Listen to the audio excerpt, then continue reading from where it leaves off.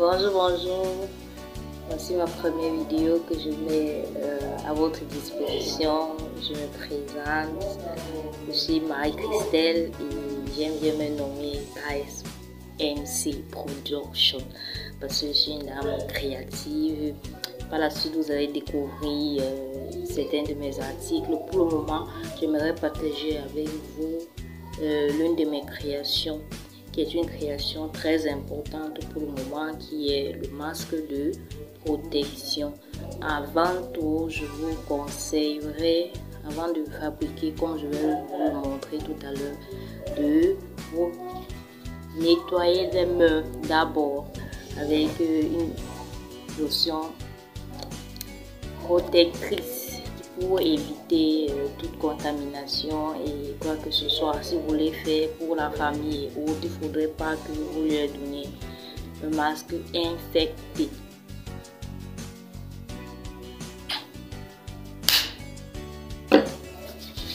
Frottez bien, vous nettoyez correctement les mains, un peu de partout là.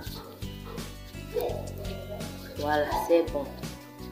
Maintenant, je vais vous montrer des exemplaires euh, de masques que je vais fabriquer. Voici un que j'emporte constamment et j'aime bien ce modèle parce que euh, quand je suis déjà à la maison et que je vais l'enlever, il me suffit de baisser. Et quand je vais porter, il me suffit de relever.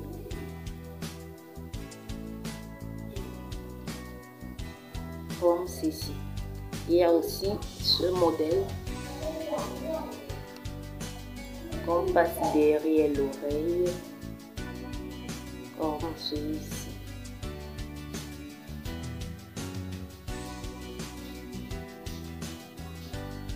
Et on enlève comme cela.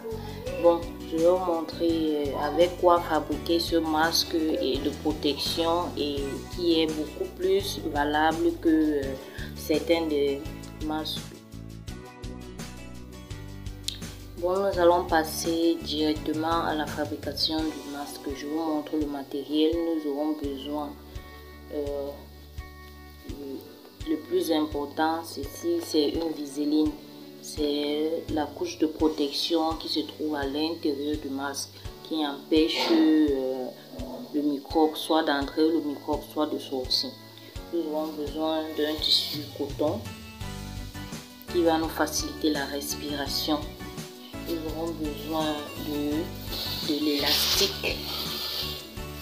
Élastique de petite taille de préférence pour pouvoir euh, mettre euh, soit derrière pour arrêter ou bien au niveau de, l'oreille. Nous aurons besoin d'un mètre ou bien d'une règle pour ceux qui n'en ont pas, d'un ciseau, du fil et des épingles pour pouvoir tenir le tissu. Commençons directement. Nous allons prendre le tissu en coton que nous allons plier en deux. Au niveau du pli, où c'est plié en deux là, nous allons mesurer 20 cm de longueur et 15 cm de largeur et le tailler. Bon, c'est fait. Nous avons mesuré le tissu en coton. 20 cm de longueur et 15 de largeur qui était plié en deux. Nous allons le plier en deux. Nous, nous avons également mesuré 20 cm de longueur et 15 cm sur la viseline que nous avons taillé et nous le posons au-dessus du tissu coton plié en deux et nous allons l'épingler.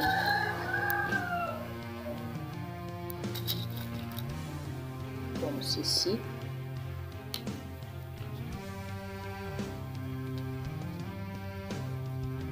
Épinglons les quatre bouts.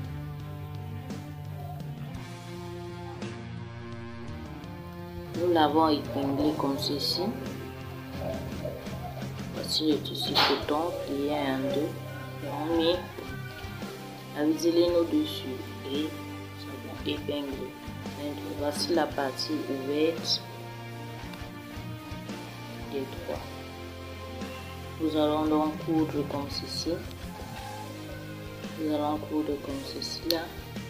On va commencer là, coudre au bord, au et laisser une petite ouverture ici pour permettre de retourner notre masque.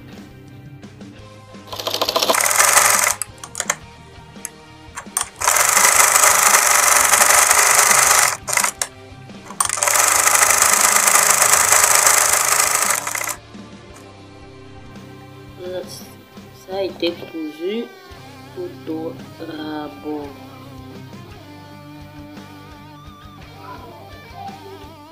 On a laissé cette ouverture qui va nous permettre de tourner le masque. Vous regardons donc au côté du tissu coton. Nous ouvrons un, une partie du tissu et nous tournons à ce niveau.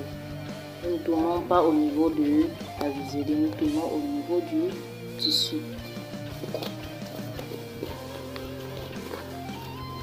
Nous faisons entrer toute la matière dans ce petit trou pour ressortir de l'autre côté. Donc ceci.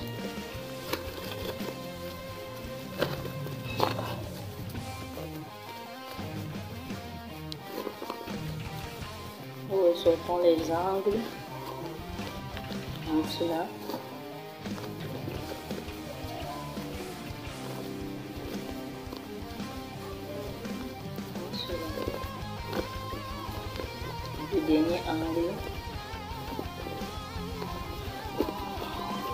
Nous avons ce rectangle. Nous allons donc fermer ce petit trou.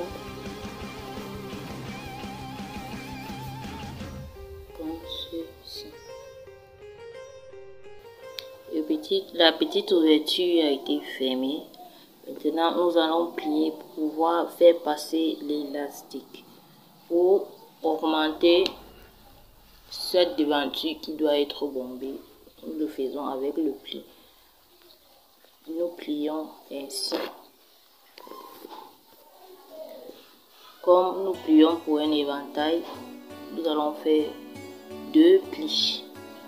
Une fois plié, nous épinglons. Comme ceci. Un deuxième pli dans l'autre sens.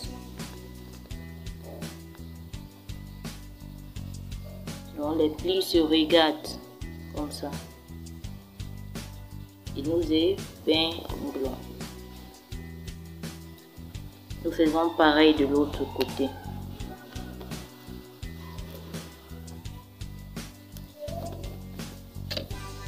ça donne ça de l'autre côté. Nous faisons pareil de ce côté. Ça nous donne ceci. Le masque qui se dessine déjà. Il est comme ceci. Il paraît tout petit, mais lorsque nous allons finir, nous allons pouvoir l'ouvrir. Il va devenir un grand masque. Voilà. il faut maintenant insérer l'élastique. Nous allons mesurer 20 cm. Voici.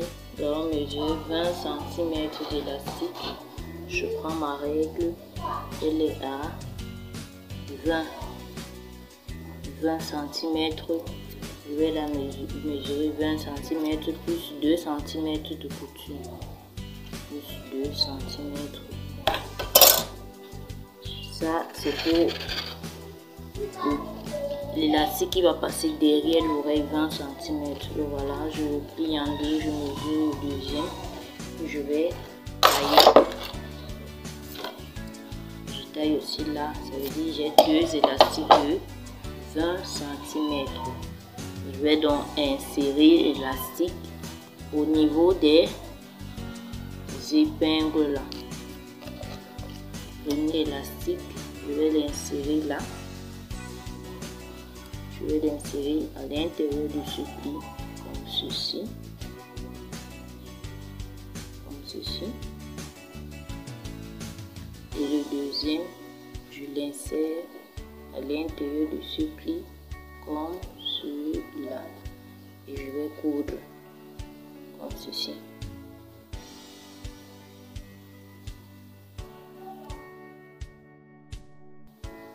Voilà ce que ça nous donne. Je vais faire pareil de l'autre côté et coudre. Voilà, c'est fait. J'ai fini avec mon masque. Mon cache-nez. Voilà, de l'intérieur, il ressemble à ça. On l'ouvre, il est plus grand, il ressemble à ça le voilà.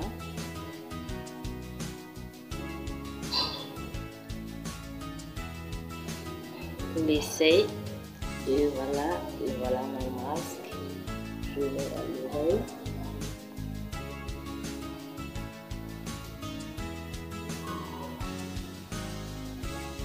Voilà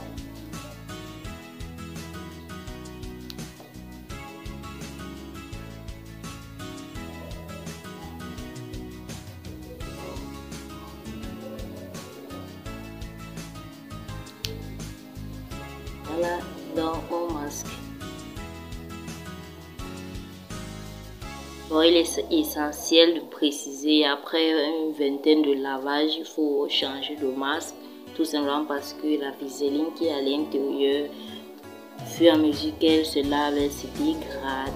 Et pour faire ce style, il suffira tout simplement, lorsque vous faites le pli, vous mettez un seul côté d'élastique et L'autre côté, l'élastique va mesurer 40 cm au lieu de, de 20, comme ceci. Vous prenez le double 40 cm, mettez un côté ici et l'autre côté là.